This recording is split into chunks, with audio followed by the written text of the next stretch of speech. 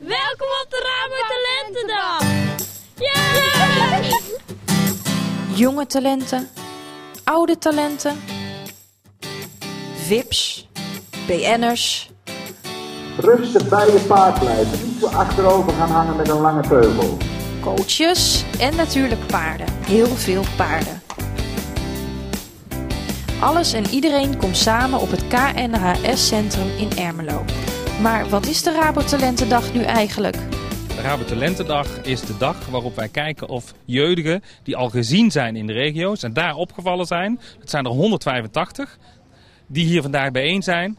En de dag waar wij kijken, hebben deze talenten die al opgevallen zijn in de regio's, hebben die echt talent. En zo'n talent dat ze opvallen bij onze bondscoaches en onze toptrainers. Want die toptrainers zijn vandaag hier. Die kijken, heeft deze ruiter talent? En wat nog heel belangrijk is, heeft hij leervermogen? Doet hij iets met de feedback van onze toptrainers? Als dat zo is, dan wordt men uitgekozen en mag men de, de winter meedoen aan trainingen eh, van onze toptrainers en coaches.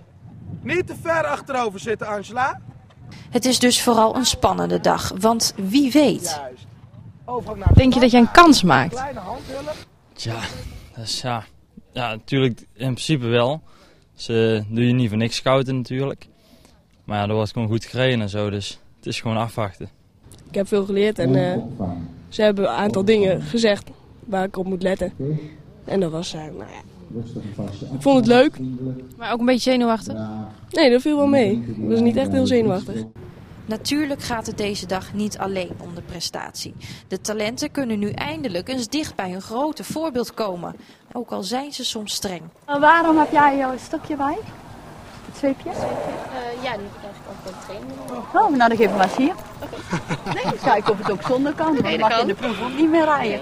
Als het niet meer gaat, dan mag je hem hebben. Hè? Ik ben niet tegen, maar het is een extra hulpmiddel.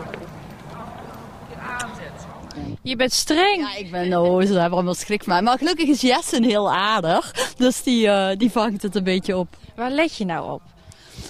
Ja, oké, belangrijk is natuurlijk eh, hoe makkelijk dat ze op hun paard zitten. Dat ze in beweging mee gaan, dat ze het paard niet storen.